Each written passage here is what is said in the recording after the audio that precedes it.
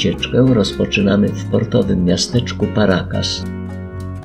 Jest ono bazą wypadową do Parku Narodowego Paracas, w skład którego wchodzi półwysep Paracas oraz wysepki Ballestas, gdzie żyją kolonie morskich ptaków i lwy morskie.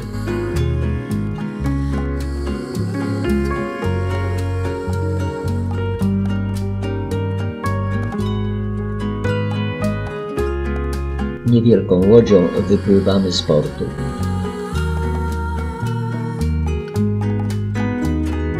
Płyniemy wzdłuż półwyspu Paracas w kierunku wysp Ballestas.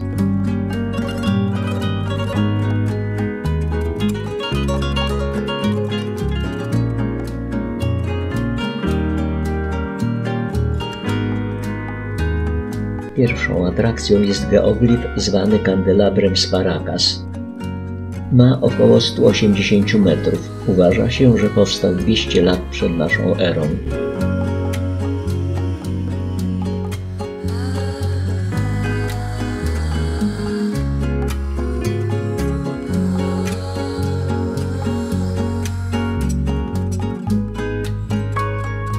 Na wyspach gnieździ się mnóstwo ptaków.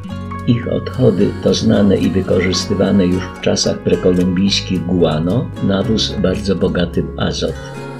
Rozgwiazdy.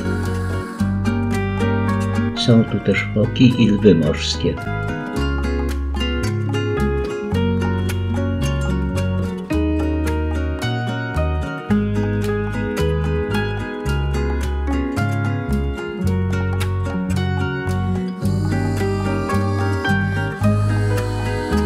Taką łupinką pływamy między wysepkami Ballestas.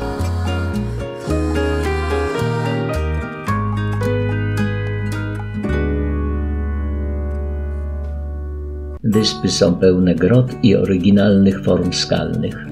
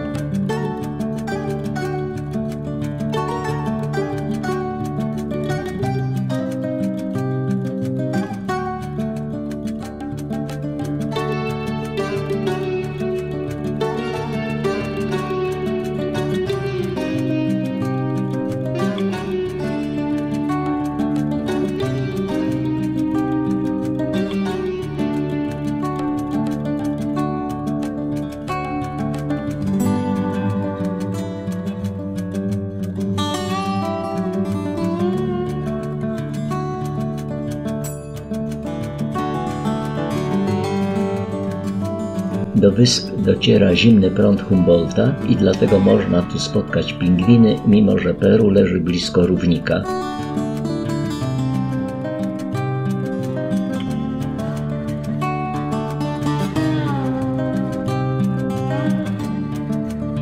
Po ponad dwugodzinnym rejsie wracamy do portu w Paracas.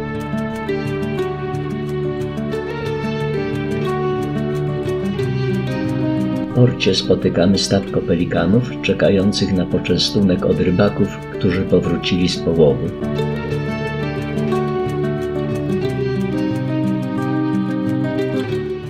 W drodze do płaskowyżu Naska zatrzymujemy się w pustynnej oazie. Otaczają ją kilkudziesięciometrowe wydmy.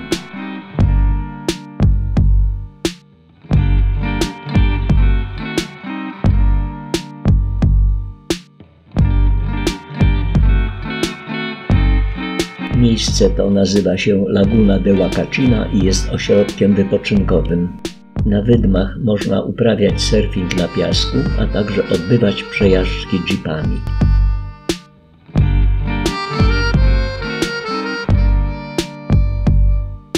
Jesteśmy na lotnisku w skąd niewielką czteroosobową awionetką lecimy nad płaskowyż, by z lotu ptaka oglądać słynne linie i rysunki. Płaskowyż leży na pustyni peruwiańskiej na wysokości 600 metrów nad poziomem morza. Linie na płaskowyżu Nazca to grupa rysunków przedstawiających zwierzęta i figury geometryczne. Osiągają one wielkość do 300 metrów i są wyżłobione w suchej powierzchni pustyni. Powstały prawdopodobnie około 2000 lat temu. Astronauta. Kondor.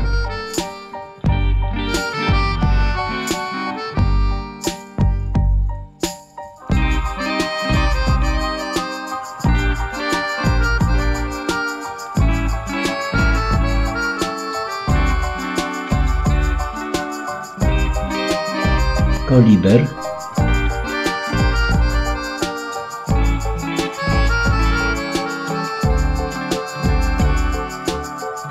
Flaming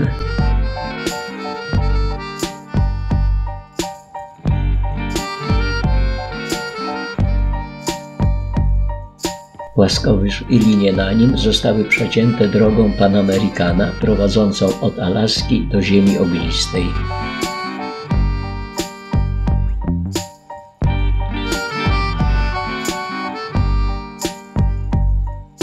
45-minutowym locie wracamy na lotnisko. Taką awionetką lataliśmy nad płaskowyżem. W trakcie pobytu w Naska odwiedzamy również warsztat garncarski, by obejrzeć sposoby wytwarzania ceramiki charakterystycznej dla kultury Naska. Przy wyrobie ceramiki używano 12 kolorów i 190 różnych motywów. Nie pozostawiano żadnego niepomalowanego lub nieudekorowanego miejsca.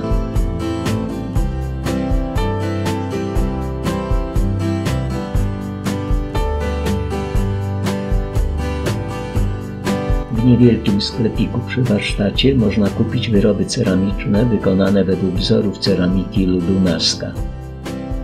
Z Nazca jedziemy do Arekipy. Towarzyszy nam Pacyfik i pustynia. Na tym odcinku Panamericana jest zasypywana przez piasek do tego stopnia, że trzeba używać specjalnego sprzętu, podobnego jak u nas do odśnieżania, by codziennie usuwać nawiewany piasek.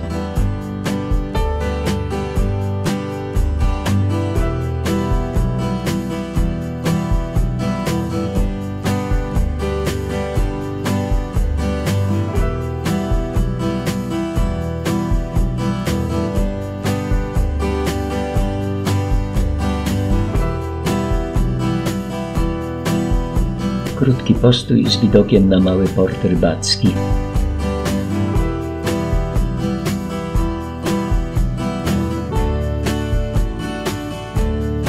Powoli zaczynamy piąć się w górę, by od poziomu morza dojechać na nocleg w Arekipie, która leży na wysokości około 2400 metrów.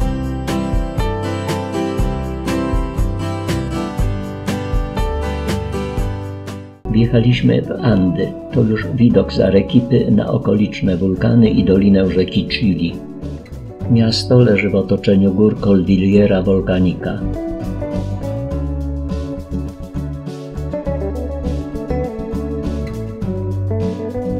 Alpaka hodowana dla wełny i mięsa.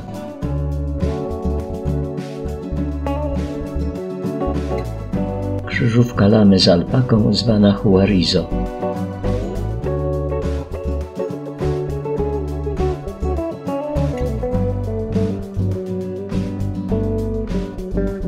Weszliśmy do niewielkiego ogrodu. To papaja. Kwiaty i owoc tumbo jeszcze nie dojrzały.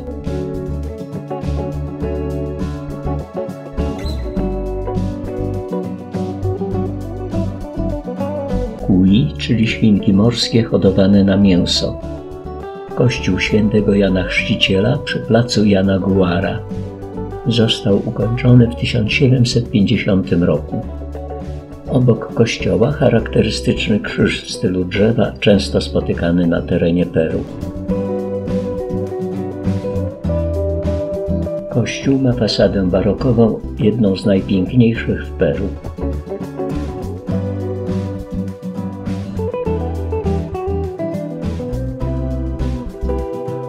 Ołtarz główny także jest bogato zdobiony. Matka Boska od trzęsień ziemi.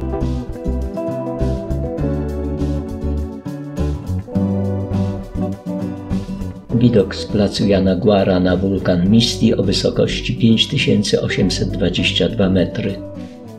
Przechodzimy na leżący w sąsiedztwie plac główny, czyli Placa de Armas.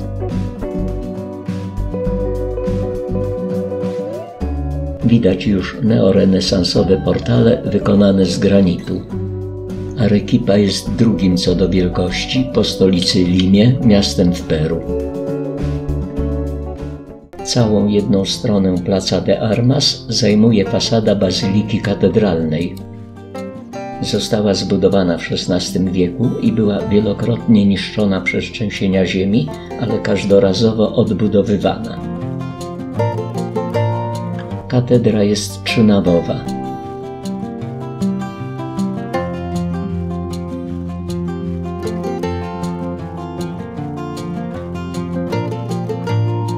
Ołtarz główny w nawie środkowej.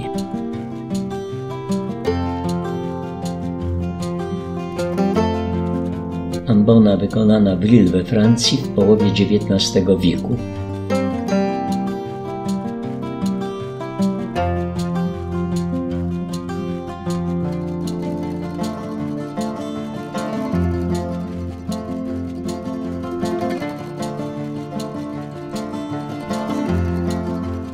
Kościół jezuitów wybudowany pod koniec XVII wieku jest przykładem tzw. Tak baroku andyjskiego.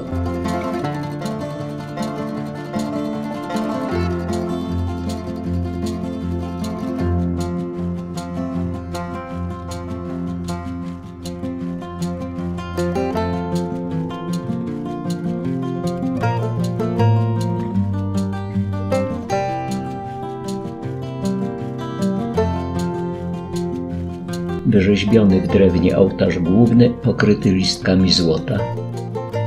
W centralnej części ołtarza znajduje się obraz Madonna z dzieciątkiem włoskiego malarza Bernardo Bitti.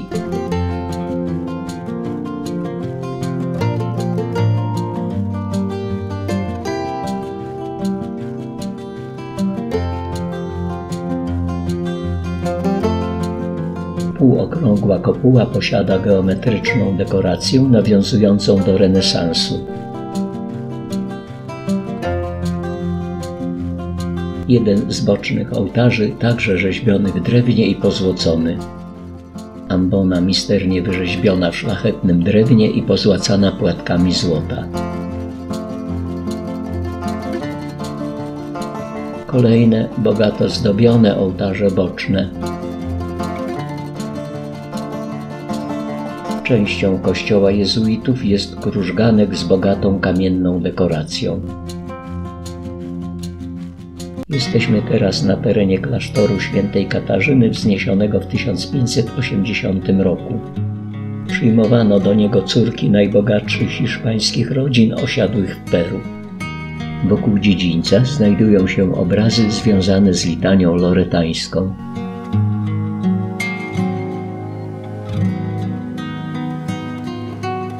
To z kolei patio pomarańczy. Wokół niego rozmieszczono obrazy sakralne. Przy wstępowaniu do klasztoru zakonnice musiały wynieść posag o obecnej wartości około 150 tysięcy dolarów. Jedna z kilku kuchni klasztornych. Klasztor jest jak niewielkie miasto. Są tu placyki i uliczki prowadzące do ponad 80 budynków. W okresie świetności przebywało tu 450 osób, w tym jedynie 150 zakonnic, a pozostałe 300 to służba. Pralnia klasztorna. Klasztor został otwarty dla zwiedzających w 1970 roku. Werbena krzaczasta na placu Zakodowera patio major, czyli główne.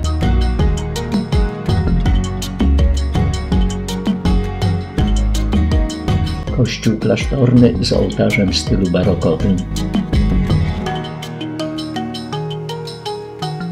Widok z klasztoru na wulkany Czaczani 6057 metrów i Picchu Picchu 5664 metry. Widoki w drodze z Arekipy do kanionu Kolka.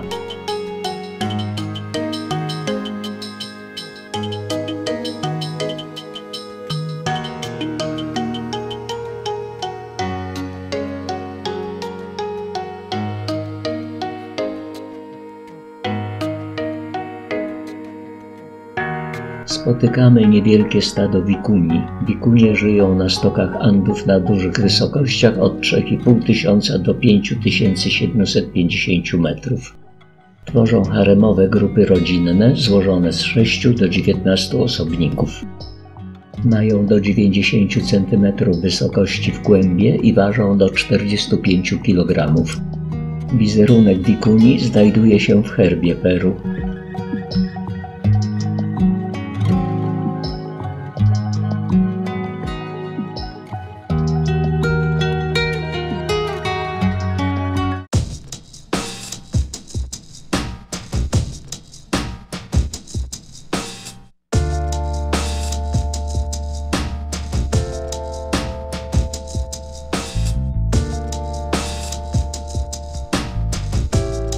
Misti, który już widzieliśmy z punktu widokowego w Arekipie. Małe indyjskie targowisko w punkcie postoju.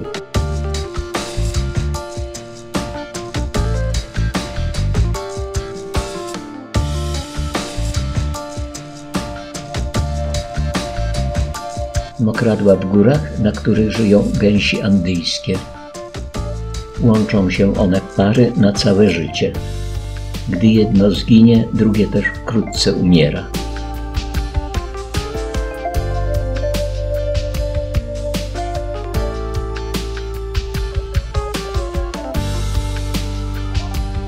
Alpaki, w odróżnieniu od wikuni, są one zwierzętami hodowlanymi.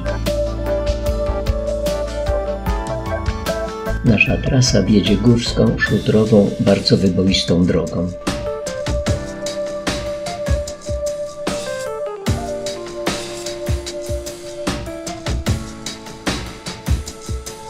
Leżące w dole miasteczko Hiwai. Wrócimy tutaj na nocleg.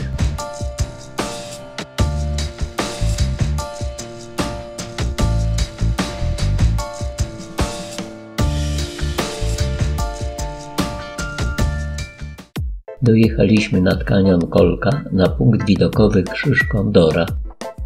Jest on usytuowany około 3000 metrów nad poziomem morza ma 120 km długości.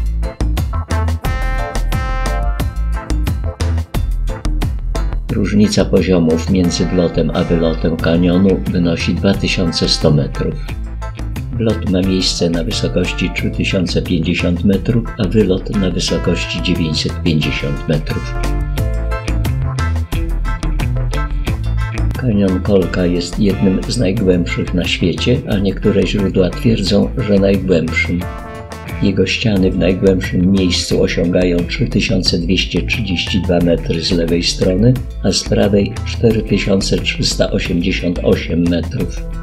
Przez kanion płynie rzeka Kolka, Pierwszego przepłynięcia kanionu kajakiem dokonali Polacy w 1981 roku. Ten wyczyn został wpisany do Księgi Rekordów Guinnessa.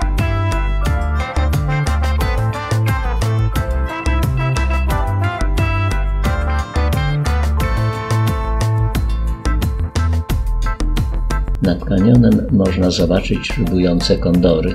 Udało nam się wypatrzyć tylko jednego. Rozpiętość ich skrzydeł osiąga nawet 3 metry.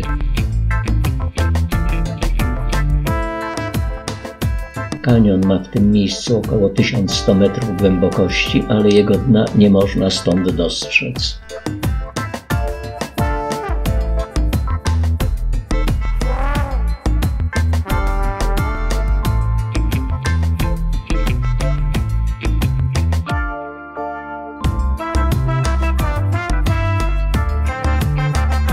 Drodze powrotnej zatrzymaliśmy się na punkcie widokowym Antaguilke.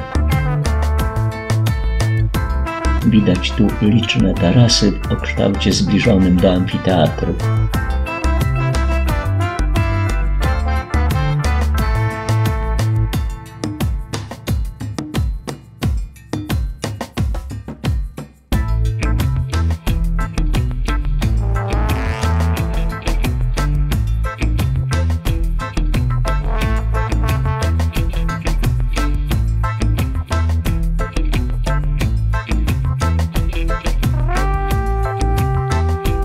Wiszące groby z czasów preinkaskich, przypominające gniazda os, niestety pod słońce słabo widoczne.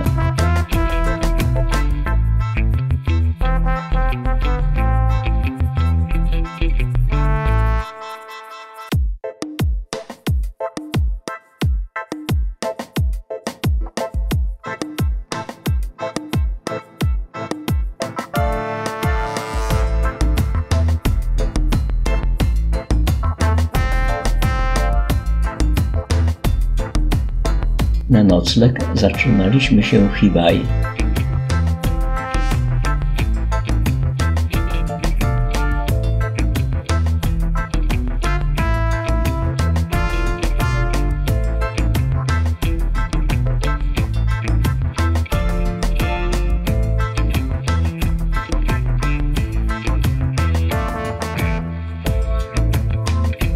Rankiem ruszamy w dalszą drogę. Postój na przełęczy Abrapatapamba. Leży ona na wysokości 4910 metrów i jest najwyższym punktem na trasie naszej wycieczki. Są tu liczne kamienne wieżyczki zwane apaketas. Przez miejscowych są traktowane jako hołd dla gór i ofiara dla bóstw górskich.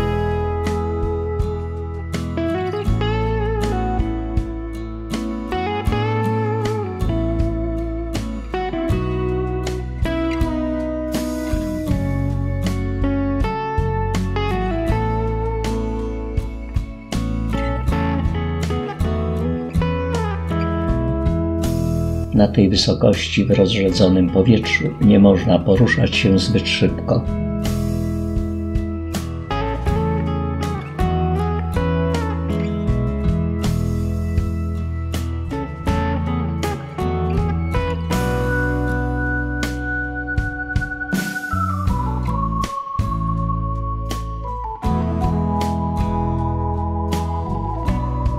Na przełęczy jest punkt widokowy na górskie pasmo wulkaniczne w Andach centralnych. Wulkan Misti 5825 metrów. Wulkan Pakani 6075 metrów. Wulkan Ampato 6288 metrów. Wulkan Sabankaja 5926 metrów. Wulkan Walka Walka 6025 metrów.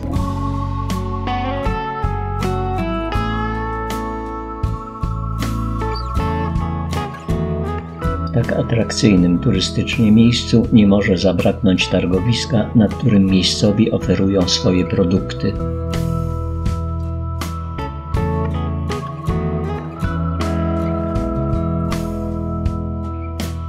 Opuszczamy już przełęcz i udajemy się w kierunku wioski Siliustani.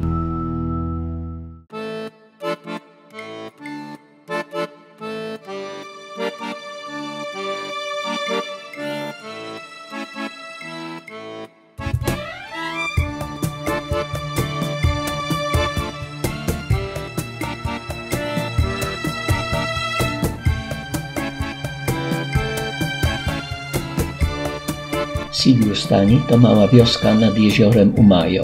Jest początek października i na półkuli południowej zaczyna się wiosna. W Siliustani znajduje się treinkaskie cmentarzysko plemienia Kolia. Zmarłych chowano tu w grobowcach rodzinnych w formie wież nazywanych czulpas. Najwyższe mają wysokość 12 metrów. Najstarsze grobowce są datowane na IX-X wiek i zostały zbudowane w okresie kultury Tiwanaku, ale są tu także wieże grobowe Inków z XV wieku.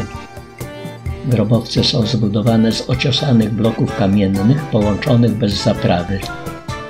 Z badań archeologicznych wynika, że pod wieżami są nisze i jaskinie, w których także znajdowały się zmumifikowane zwłoki.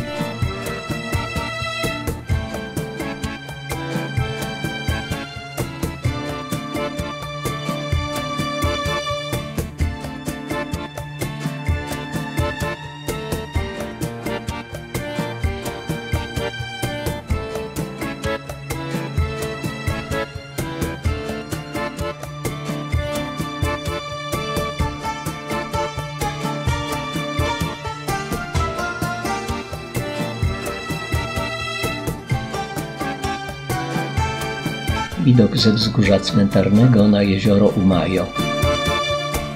W drodze na nocleg odwiedzamy indyjskie gospodarstwo.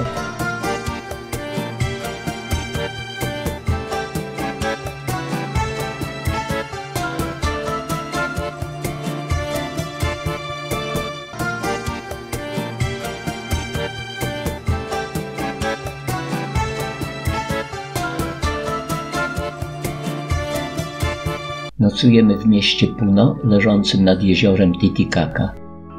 Jesteśmy na krótkiej przechadzce w parku Pino w centrum miasta. Park utworzono na początku XX wieku po wojnie z Chile.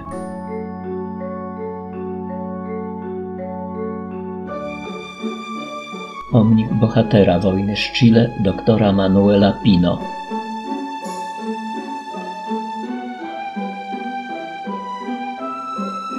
kościół świętego Jana Chrzciciela z XVIII wieku. Uno leży 3830 metrów nad poziomem morza.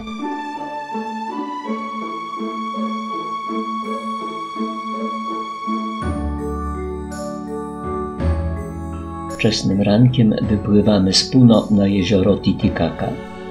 Jest to największe jezioro w Ameryce Południowej. Leży na terenie Peru i Boliwii ma 190 km długości, 80 km szerokości, a jego powierzchnia ma 8372 km2. Jest największym jeziorem wysokogórskim na Ziemi, znajduje się na wysokości 3812 metrów nad poziomem morza. Na jeziorze trwa zwykła poranna krzątanina. Naszym celem są pływające sztuczne wyspy zwane Uros. Są one zbudowane i zamieszkane przez Indian z plemienia Uru. Do budowy wysp służy rosnąca na jeziorze trzcina Totora. Łodzie z turystami są przez miejscowych strażników przydzielane do poszczególnych wysp. Dzięki temu każda wysepka może liczyć na regularne dochody. Strażnicy wiedzą, która wysepka była ostatnio odwiedzana, która czeka na turystów, a która akurat kogoś gości. Dopłynęliśmy do naszej wysepki.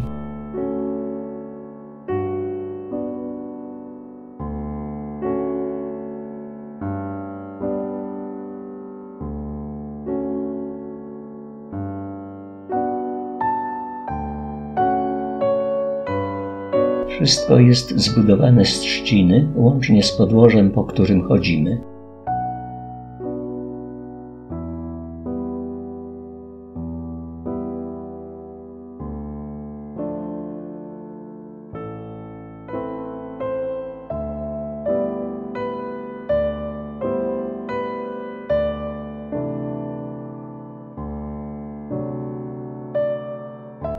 Wydobywane z dna jeziora korzenie trzciny Totora, na których unosi się cała wyspa.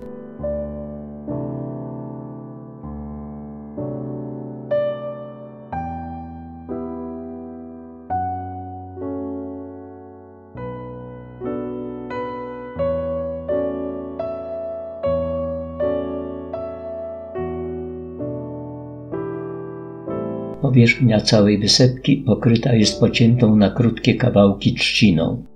Gdy się po niej idzie, to stopy zagłębiają się jak na podmokłym terenie.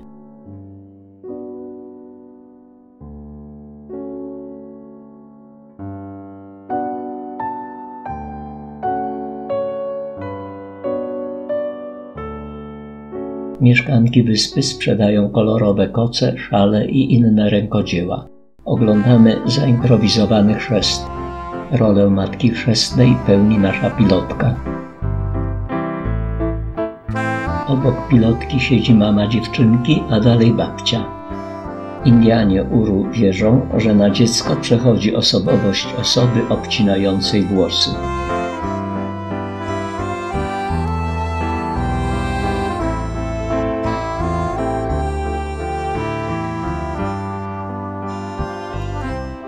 Popłyniemy teraz tą łodzią na sąsiednią wyspę.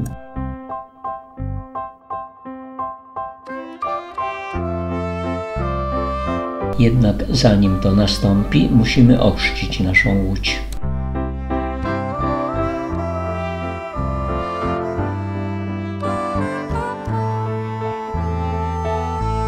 Teraz możemy już ruszać w rejs. Żegnają nas mieszkańcy wyspy. W rzeczywistości jest tak, że wyspy, na które kierowani są turyści, są swoistymi skansenami.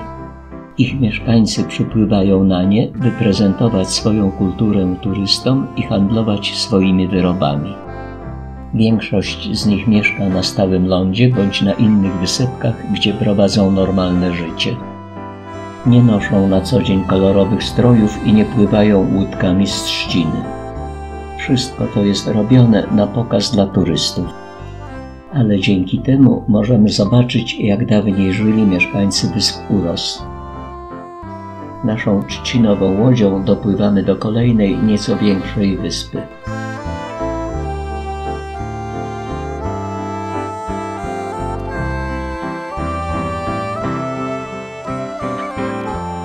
Jest tu niewielki kościół i budynek szkoły, w której jest tylko jedna izba.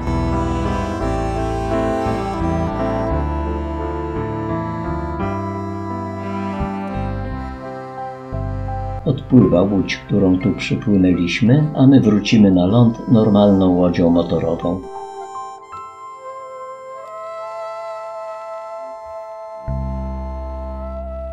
Dwadzieścia kilometrów od Puno w miasteczku Chukwito znajdują się ruiny świątyni płodności Matki Ziemi, gdzie Indianie modlili się o urodzaj i deszcz. Jest tu kilkadziesiąt kamiennych fallusów.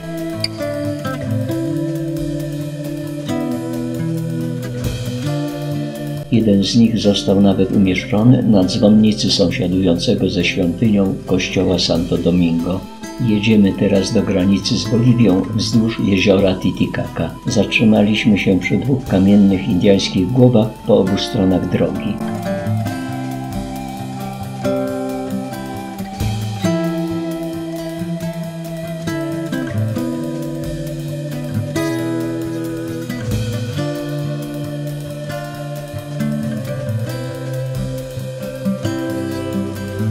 Targ bydła w jednej z wiosek po drodze.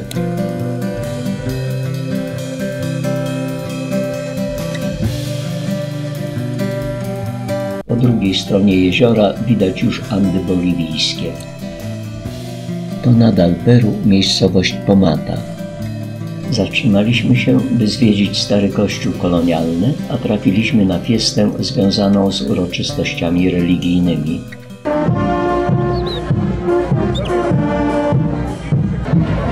Święto Różańcowej.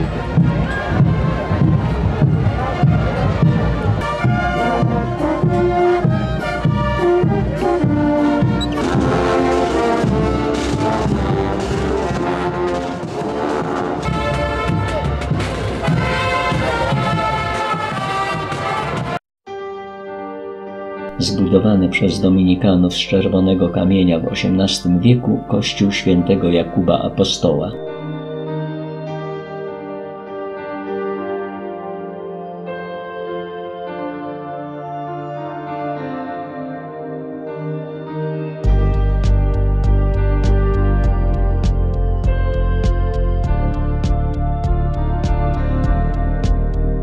Kolejna grupa pielgrzymów zmierzająca na uroczystości.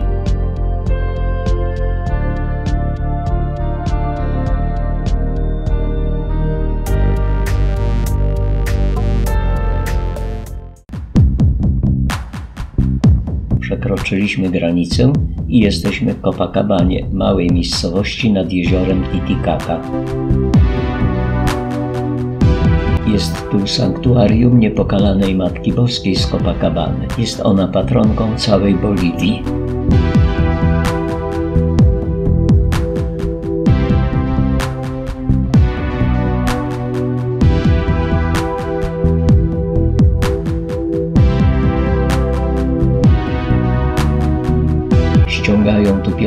Wiernych z Peru i Boliwii, by ujrzeć figurę XVI wieku przedstawiającą Matkę Boską o indyjskich rysach twarzy.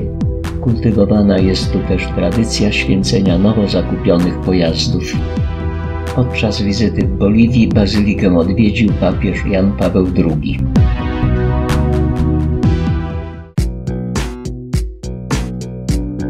Pokryte śniegiem szczyty boliwijskich Andów.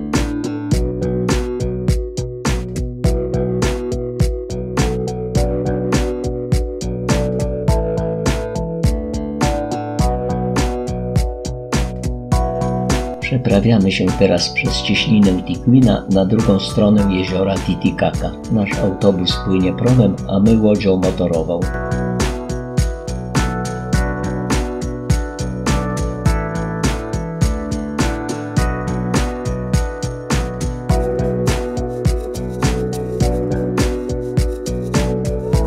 Wizytę w La Paz rozpoczynamy od Księżycowej Doliny. Znajduje się ona 10 km od centrum miasta.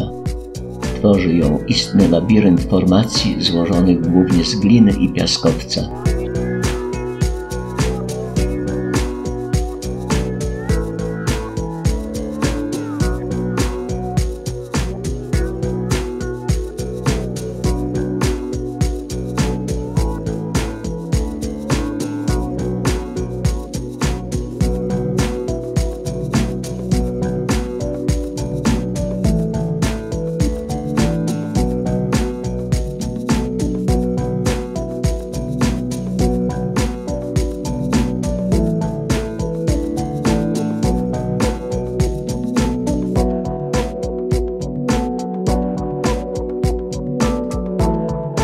Brakuje drobnego folklorystycznego akcentu.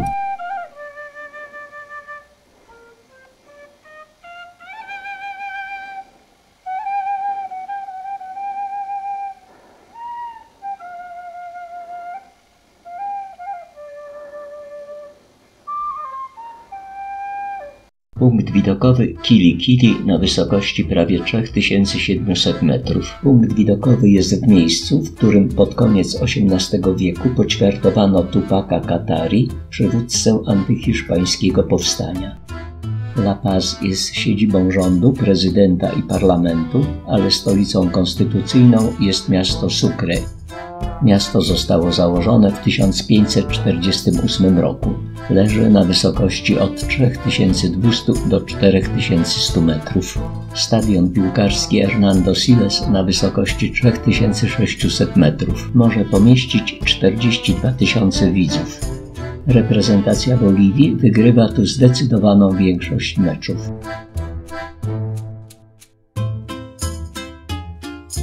Jesteśmy teraz w historycznym centrum miasta na Plaza Murillo. Katedra metropolitalna wybudowana w 1835 roku w stylu neoklasycystycznym.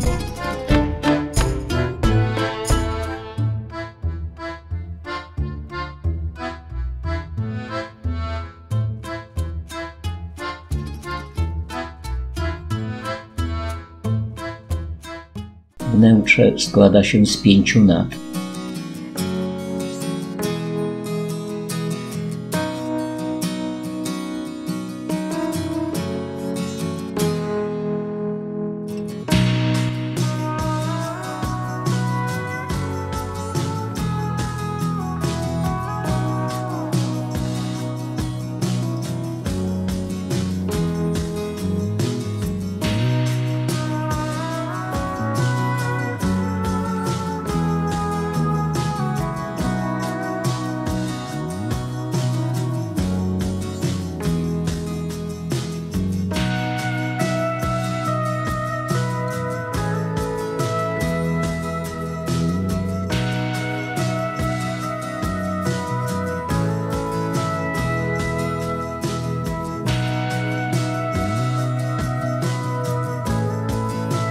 Lewej strony katedry znajduje się kaplica z grobowcem marszałka Andresa de Santa Cruz.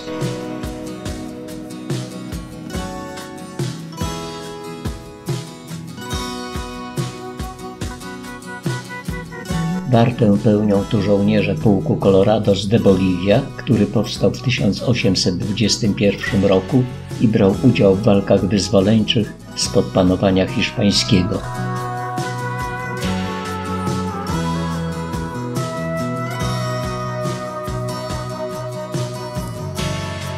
Obok katedry stoi Palacio Quemado, który do 2018 roku był siedzibą prezydenta Boliwii. Palacio Quemado znaczy spalony pałac i nazwa ta została nadana po spaleniu pałacu podczas powstania w latach 60. XIX wieku.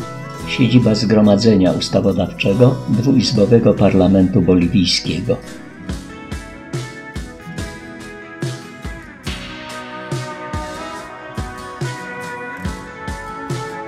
Centrum placu Murillo stoi pomnik Pedra Domingo Murillo, który zasłużył się w walce o wyzwolenie Boliwii spod panowania hiszpańskiego.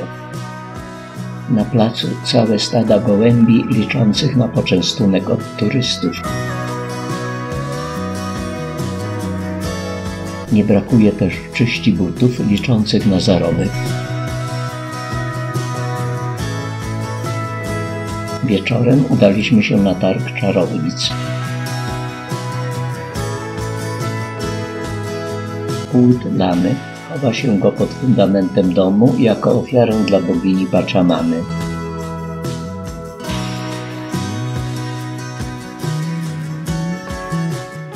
Jedziemy teraz do ruin Tiwanaku. Na wysokości 3800 metrów znajduje się tu największy ośrodek kultury andyjskiej wpisany na listę Światowego Dziedzictwa UNESCO. Zwiedziliśmy muzeum ze zbiorami pochodzącymi z wykopalisk, ale obowiązywał w nim zakaz fotografowania. Sfilmowaliśmy tylko to, co było wystawione na zewnątrz.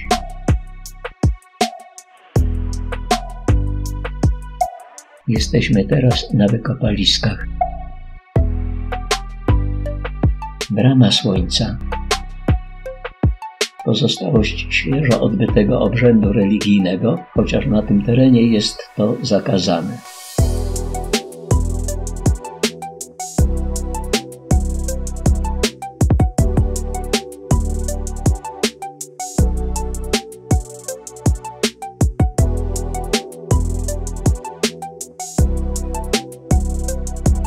Dziwnie wykręcona prawa dłoń, jakby ułożona w odwrotnym, nienaturalnym kierunku. Podobnie wyrzeźbione dłonie można też zobaczyć na innym posągu.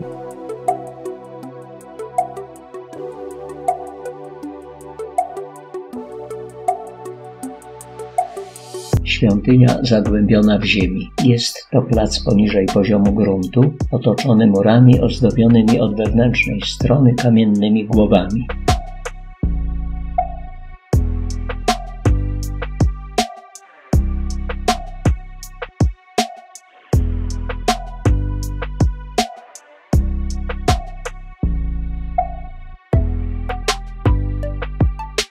Czasie naszego pobytu 19 lat temu dopiero rozpoczynano prace wykopaliskowe przy piramidzie Akapana.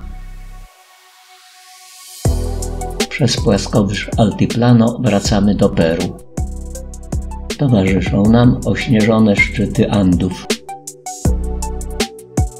Ponownie musimy przeprawić się przez cieśninę Tikina. Cieśnina ta dzieli jezioro Titicaca na dwie części. Jedna jest zwana Huinaymarka, a druga Chukwito.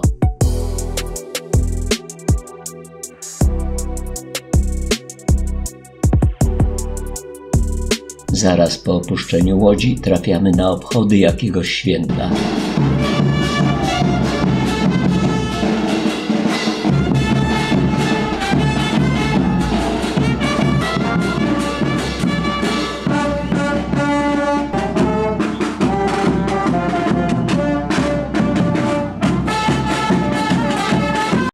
Ostatnie widoki jeziora Titicaca.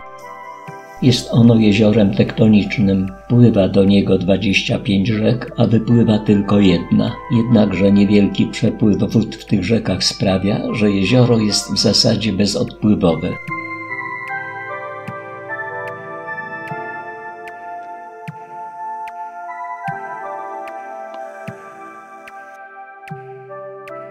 To już ostatnia miejscowość po stronie boliwijskiej i przejście graniczne do Peru.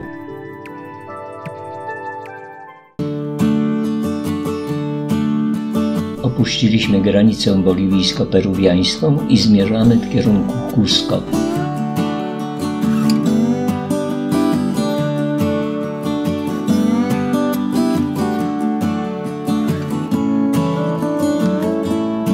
Krótki postój przy niewielkim targowisku z pięknymi widokami na Andy.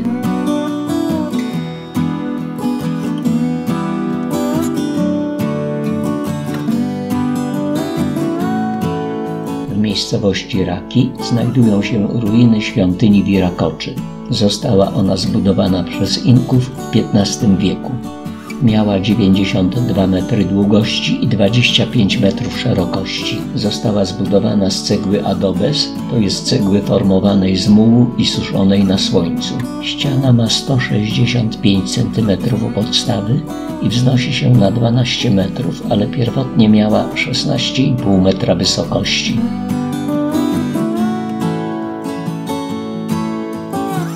W pobliżu świątyni stoi niewielki kościół.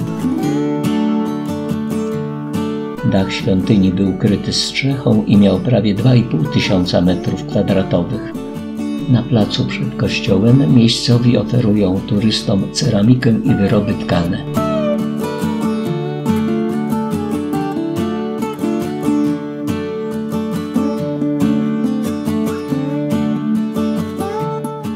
Dotarliśmy do Cusco.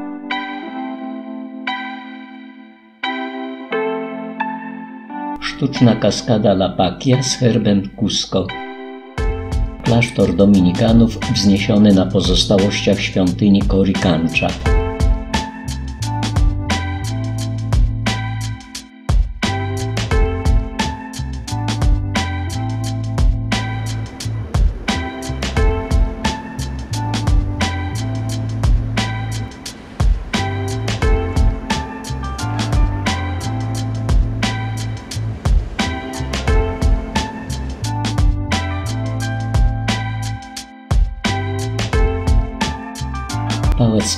Sprawiedliwości w historycznym centrum miasta.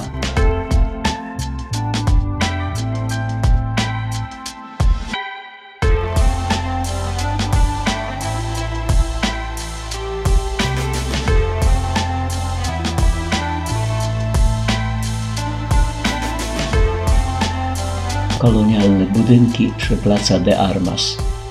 Cusco leży na wysokości 3300 metrów nad poziomem morza. Zostało założone w XII wieku przez pierwszego władcę Inków Manco Capaca i było stolicą Imperium Inków. W 1533 roku Cusco zostało zdobyte przez hiszpańskie oddziały Francisco Pizarra.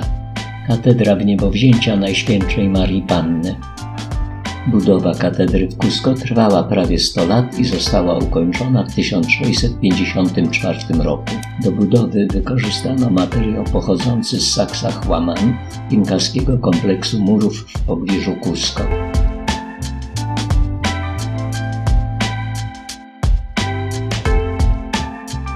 Kościół jezuitów zbudowany na przełomie XVI i XVII wieku.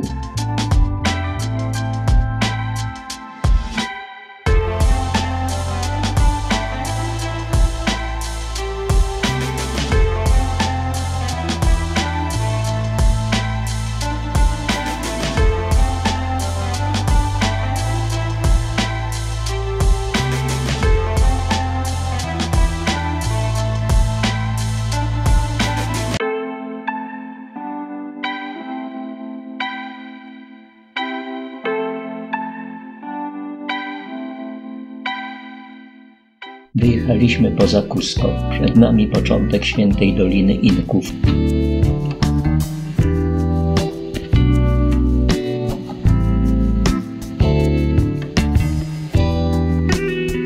Zatrzymaliśmy się w ośrodku Aguana Kancza, by obejrzeć zwierzęta z rodziny wielbłądowatych, to jest lamy, alpaki, guanako i wikunie. W ośrodku można przebywać wśród zwierząt i karmić je. Wikunia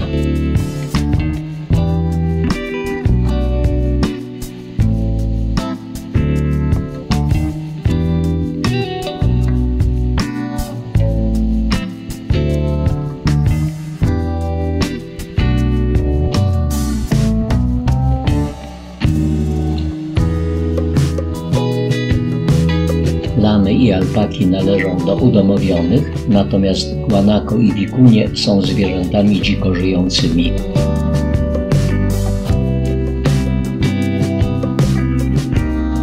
Guanako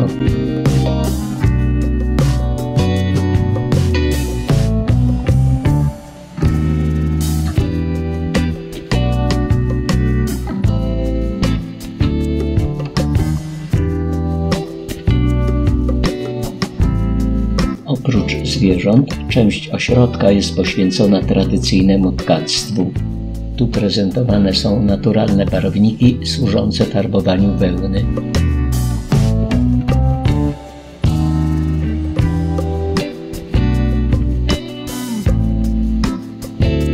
A tu pokaz tkania tradycyjnymi metodami.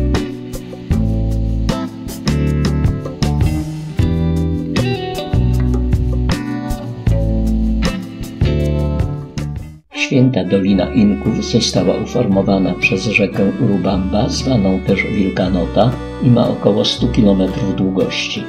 Inkowie wybrali te tereny ze względu na doskonałe warunki do uprawy zbóż, głównie kukurydzy. Świętą Dolinę Inków licznie odwiedzają turyści. Nic zatem dziwnego, że na punktach widokowych funkcjonują targowiska, głównie z suwenirami.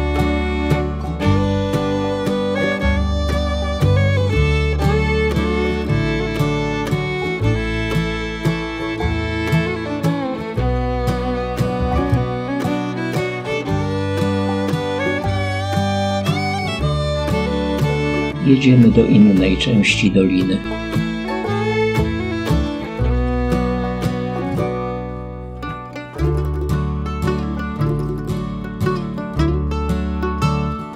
Z platformy widokowej w pobliżu miasta Pisak można podziwiać zbudowane w czasach Inków tarasy uprawne. Dzięki ułożeniu ich w kierunku słońca zbiory były tutaj szczególnie obfite.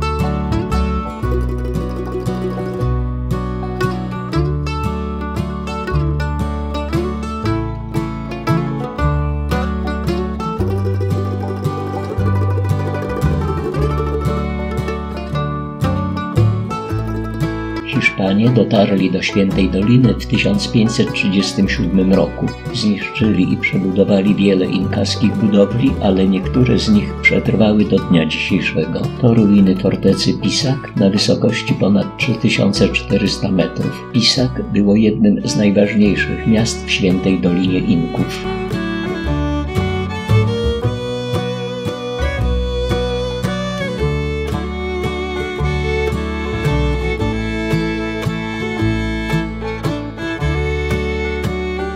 Oczywiście i tutaj nie brakuje sprzedawców miejscowego rękodzieła.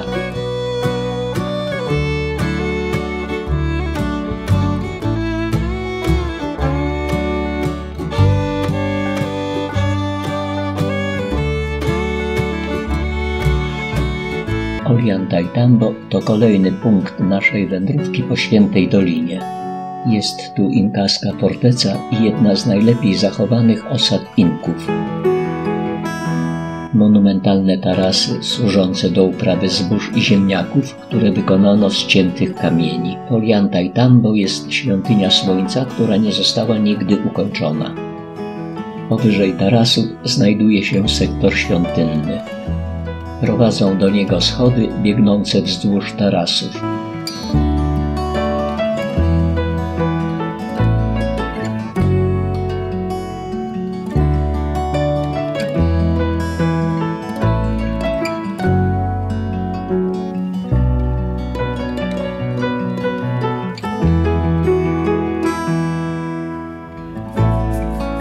Współczesne Tantango.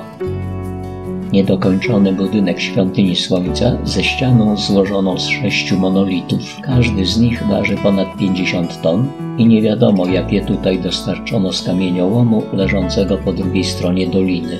W pobliżu w 1536 roku miała miejsce bitwa pomiędzy Hiszpanami a powstańczymi oddziałami Inków, której Inka Manco pokonał najeźdźców.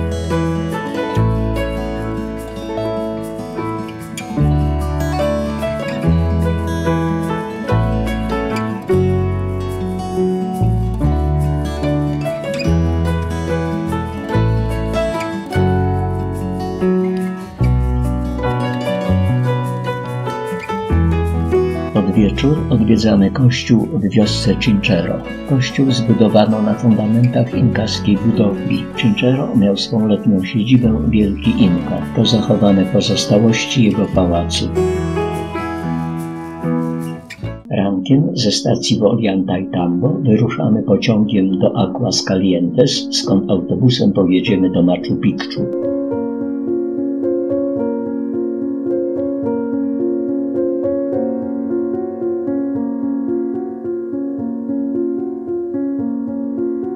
Trasa biegnie wzdłuż rzeki Urubamba, a przejazd trwa niecałe półtorej godziny.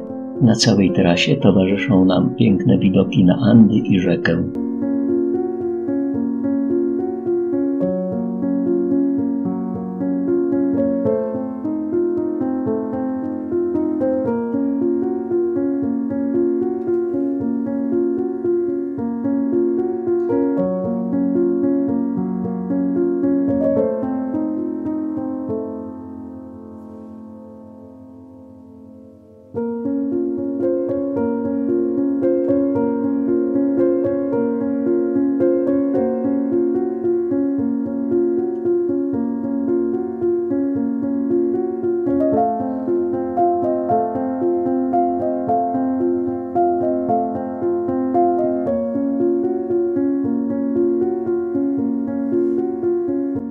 Dotarliśmy do Aguascalientes.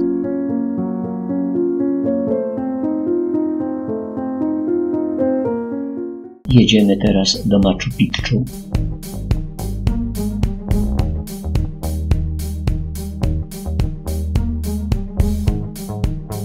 Daleko w dole zostawiliśmy nasz pociąg i rzekę Urbambę. wejście na teren pozostałości inkaskiego miasta. W języku Koczuła Machu Picchu znaczy stary szczyt.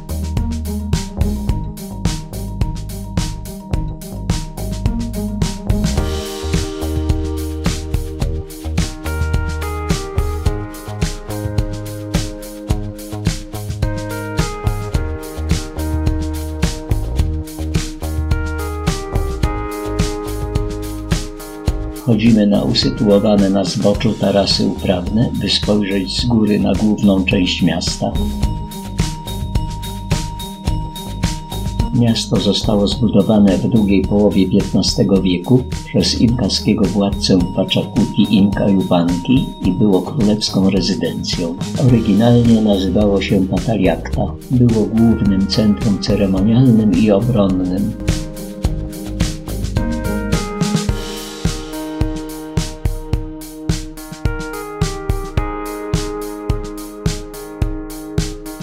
Strony nad miastem wznosi się góra Łajna Picchu o wysokości 2720 metrów.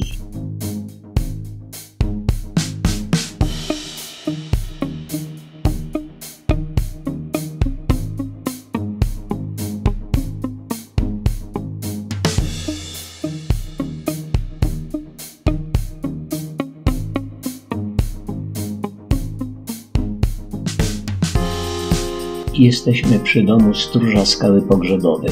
To stąd tak piękne widoki należące pod nami miasto.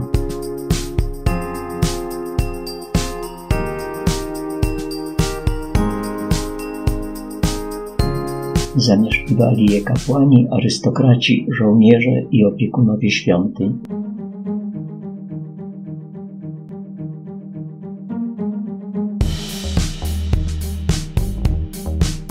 stary kamieniołom, z którego pochodzi część budulca. Hiszpanie nigdy nie odnaleźli miasta. Jego odkrycie jest przypisywane amerykańskiemu profesorowi Hiramowi Binghamowi. Miało to miejsce 24 lipca 1911 roku.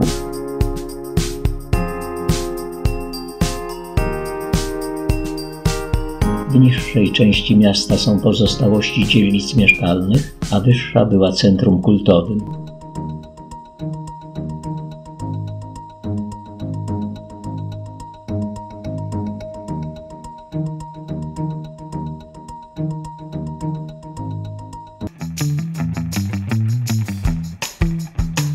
W najwyższym punkcie miasta znajdowało się obserwatorium astronomiczne Intihuatana.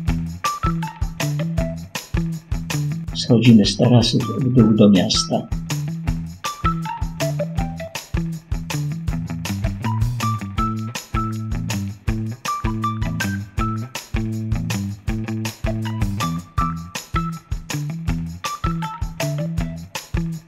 Miasto zostało zbudowane z jasnego granitu.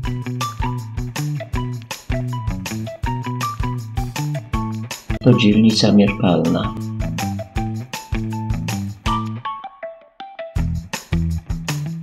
Wysoko w górze widać budynek stróża skały pogrzebowej, spod którego schodziliśmy tarasami do miasta, a za nim skryła się w chmurach góra Machu Picchu o wysokości 3082 metry. Prawie 600 metrów niżej płynie Urubamba, która otacza Machu Picchu korytem w kształcie litery U.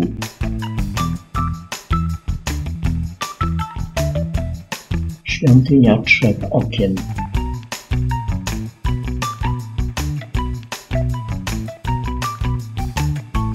Świątynia Główna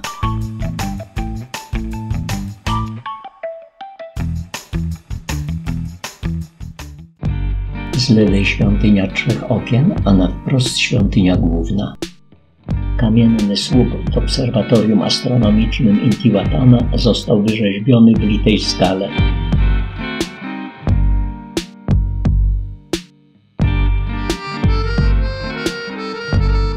Hiram Bingham, odkrywca miasta, wracał tutaj kilkakrotnie. Odkrył tysiące zabytkowych przedmiotów, w tym mumie, srebrne posążki, złote spinki i naczynia ceramiczne. Łącznie wywiózł legalnie do Stanów Zjednoczonych 4000 zabytkowych przedmiotów, które trafiły na Uniwersytet Yale. Część tej kolekcji powróciło do Peru w 2007 roku po porozumieniu między peruwiańskimi władzami a Uniwersytetem Yale.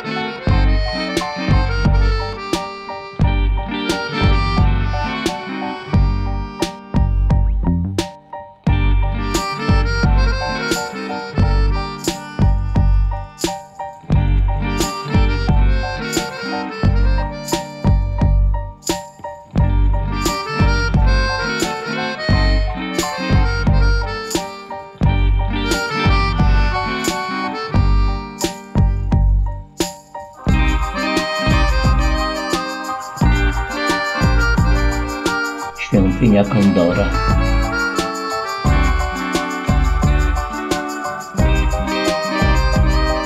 Rytualny kamień w świątyni Kondora.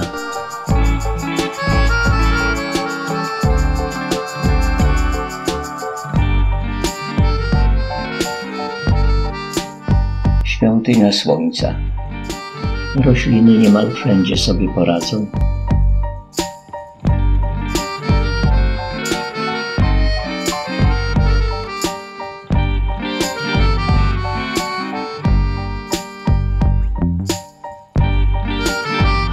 Serpentynami jechaliśmy autobusem z Aquas Caliente, pokonując 400 metrów różnicy poziomów. Widokiem na płynącą w dole Urubambę kończymy nasz pobyt w Machu Picchu. Wracamy pociągiem do Cusco.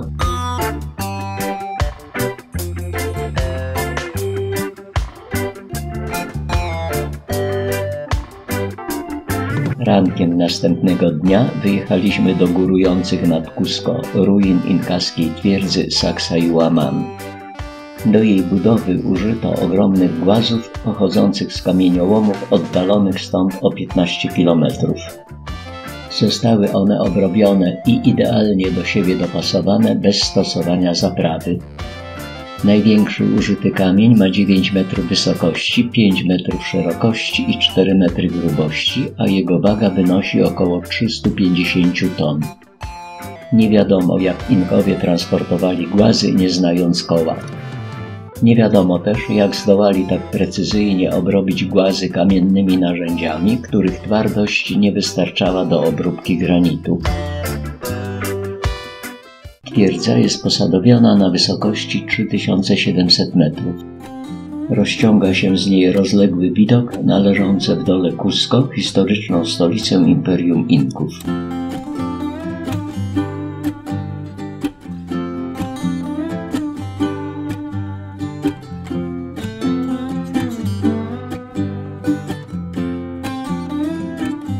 Zdaniem wielu archeologów budowa twierdzy Saksa Juaman miała miejsce w drugiej połowie XV wieku albo została rozbudowana na bazie budowli powstałych w XI wieku. Twierdzę tworzyły trzy rzędy murów w układzie tarasowym jeden nad drugim. Były zbudowane w zygzak i rozciągały się na długości 400 metrów. Po zdobyciu Cusco Hiszpanie potraktowali Saksa i Łaman jako źródło budulca. Rozebrano i zniszczono znaczną część kompleksu, by zbudować hiszpańskie budynki rządowe i religijne w kolonialnym Cusco. Do dziś pozostały jedynie kamienne bloki, które były zbyt duże, by można je było łatwo przenieść.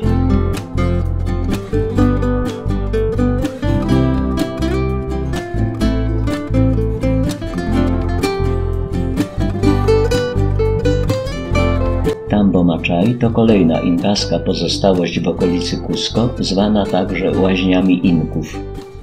Było to niegdyś miejsce kultu wody i prawdopodobnie było wykorzystywane do rytuałów oczyszczających. Pukapucara to także inkaska twierdza wchodząca w skład systemu obronnego Cusco.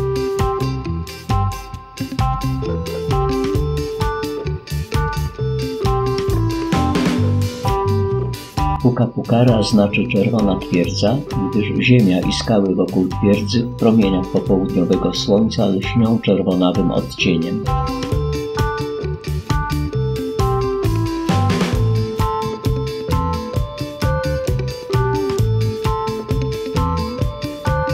Kompleks obronny tworzą wysokie mury, tarasy i schody.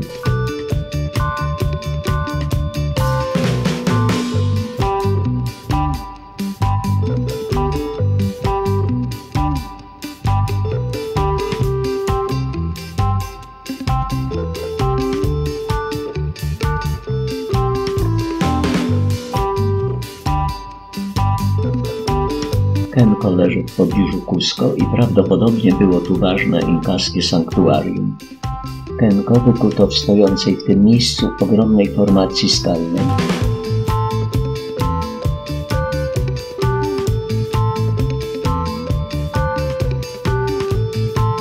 Są tu kanały wykute w litej skale i podziemna komnata.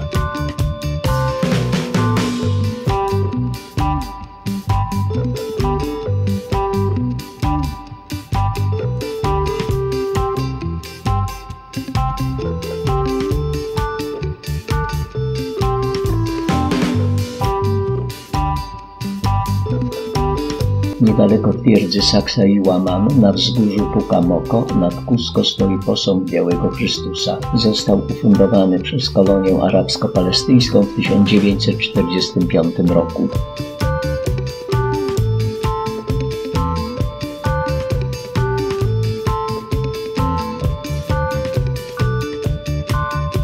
Po powrocie do Cusco trafiamy na fiestę pod katedrą.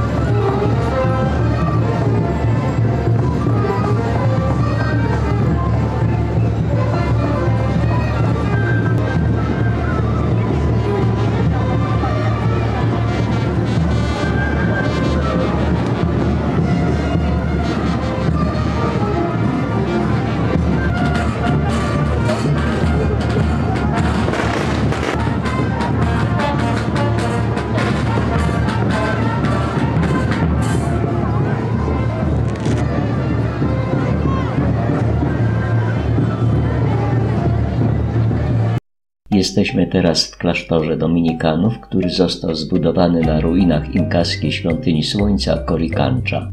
Korikancha była ogromnym kompleksem świątynnym o wymiarach 140 na 135 metrów. Wzniesiona była z doskonale dopasowanych bloków kamiennych.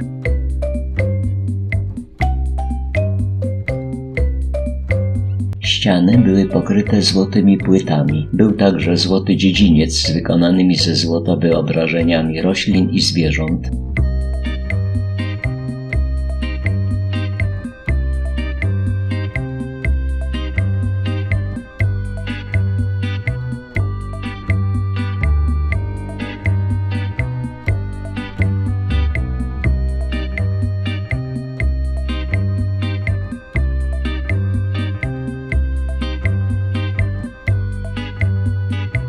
Pozostałości dawnych murów świątyni zostały odsłonięte przy odbudowie klasztoru po trzęsieniu ziemi w 1950 roku. Pobyt w Cusco kończymy kolacją połączoną z występami folklorystycznymi.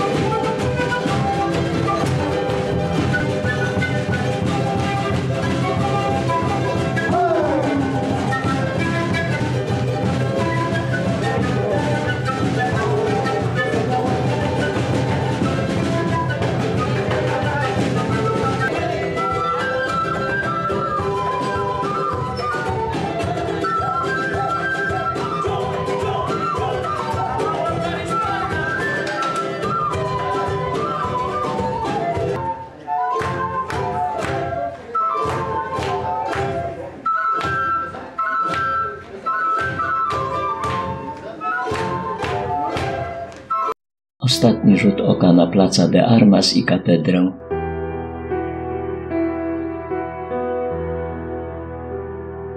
Z Cusco przelecieliśmy do stolicy Peru, Limy. Zwiedzanie rozpoczynamy od Placa Major w historycznym centrum Limy. Ratusz w stylu kolonialnym.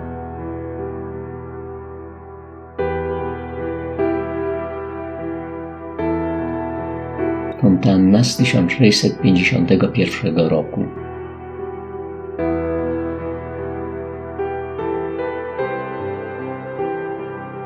Pałac Pizarra z 1531 roku. Został przebudowany w 1938 roku i od tego czasu jest siedzibą prezydenta Republiki Peru.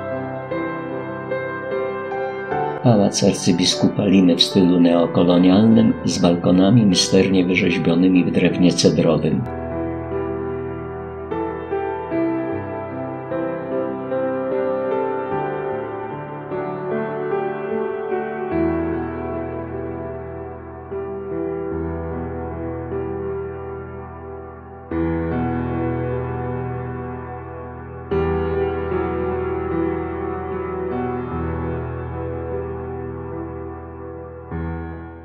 Katedra metropolitalna pod wezwaniem świętego Jana Ewangelisty.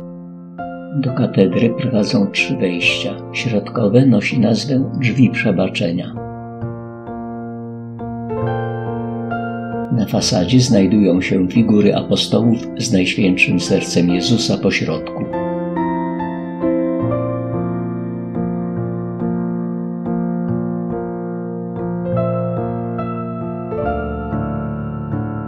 Sufit ma sklepienie żebrowe wykonane z drewna i stiuku.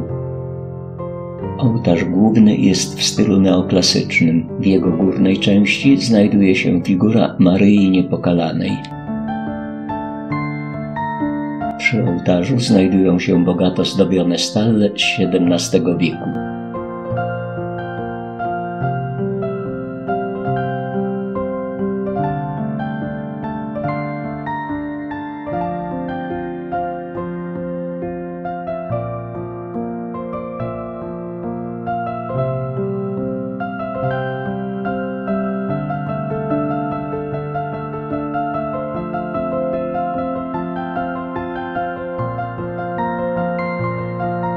Prawej nawie pod herbem Limy znajduje się sarkofag Franciska Pizarra, hiszpańskiego konkwistadora, który podbił Imperium Inków.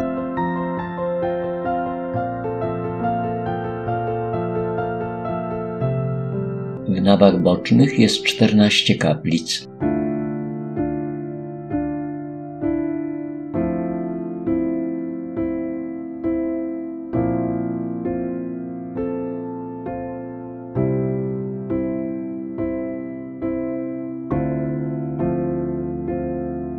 Budynku Poczty Głównej można obejrzeć kipu, pismo węzełkowe stosowane przez Indian z obszaru Andów.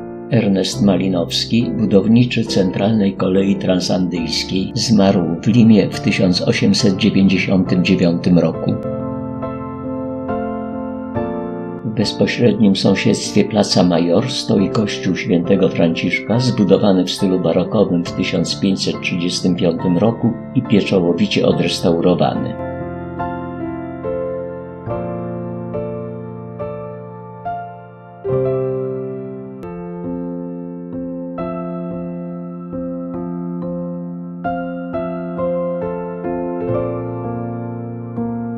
Kościół jest przy klasztorze Franciszkanów. Na terenie klasztoru znajduje się biblioteka z imponującymi zbiorami ponad 25 tysięcy ksiąg.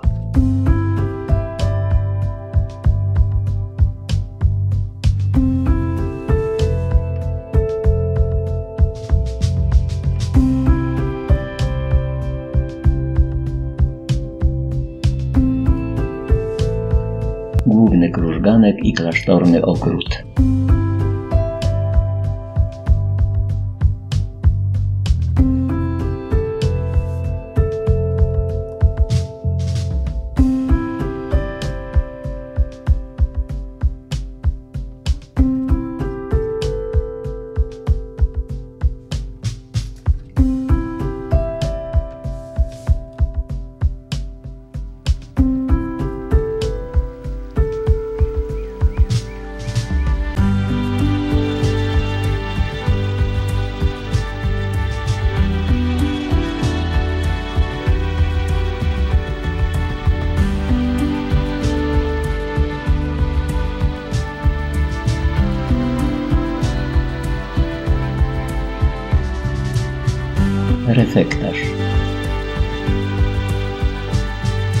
Ostatnia wieczerza autorstwa Diego de la Puente. XVII-wieczny malarz nadał apostołom twarze swoich sąsiadów.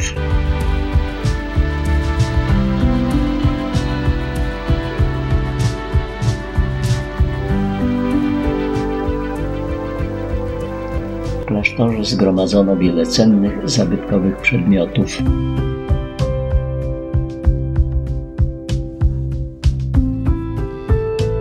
Budynkami klasztoru w 1943 roku odkryto stare katakumby.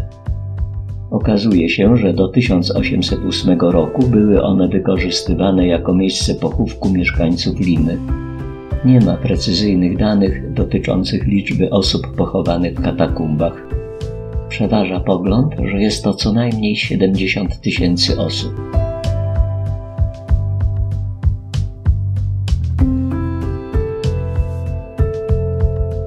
Wizytą w klasztorze Franciszkanów kończymy wycieczkę do Peru i Boliwii. Teraz przejazd na lotnisko i powrót do Polski.